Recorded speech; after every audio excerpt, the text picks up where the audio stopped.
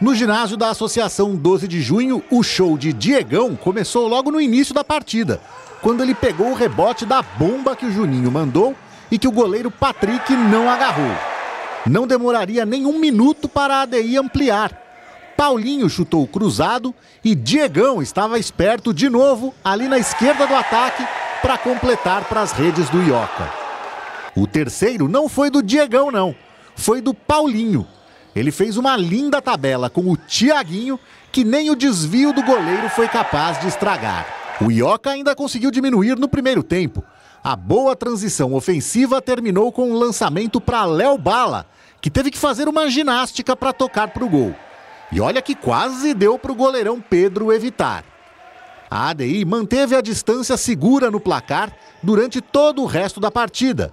Foi quando Ioca apelou para o goleiro Linha que os indaiatubanos se aproveitaram. Na roubada de bola, Diegão partiu em direção ao gol, perseguido pelo desesperado goleiro Linha, que não conseguiu evitar o 4 a 1.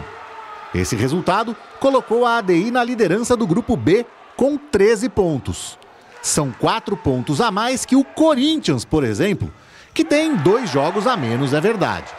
Agora, o time de Indaiatuba volta a jogar só no dia 7 de outubro, mas vai ser fora de casa, contra a FIB, lá em Bauru.